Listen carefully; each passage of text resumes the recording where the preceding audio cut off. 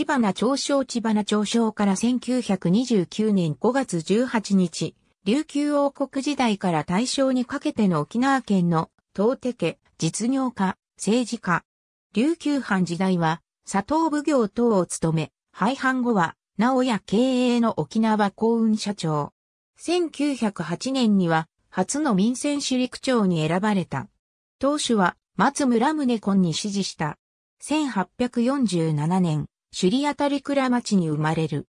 千葉名家は、直室王の第五王子、古鎮田王子朝春を始祖とする活連御殿から分家した首里氏族であり、琉球王国時代は、千葉名殿内と呼ばれた名家であった。小林流海祖の千葉名朝信は老いにあたる。1866年書院故障として出資。同年虎の五感戦で、作法師に五感戦踊りを披露した。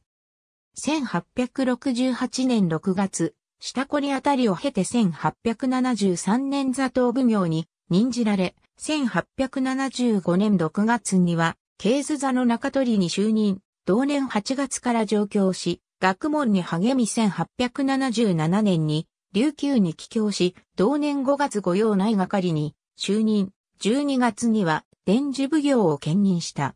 1879年2月銀脈を最後に、廃藩に伴い致死。廃藩後は、直屋家府や会社社長を経て1908年4月に、首陸長に選出された。妻は、マブニアジ町くらいの姉かまどである。マブニ御殿は、コチンダ王子朝春の長兄王佐と王子朝助を、始祖とするマブニ紛りの味地頭である。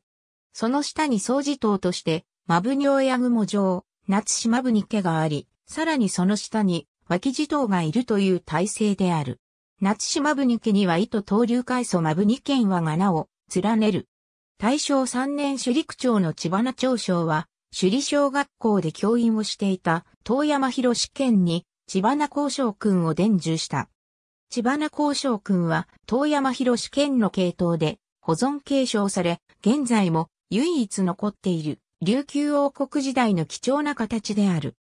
千葉名交渉君は千葉名殿内に秘伝として伝わったものであり、糸す、安常が猫足立ちに改変する以前の首里古流の内ファンチ、立ちを主体とした立ち方を残している。他には独自の連続手刀受け、跳躍からの伏せ技、さらに跳躍の連続技等の他の形には見られない高度な技術を保存している。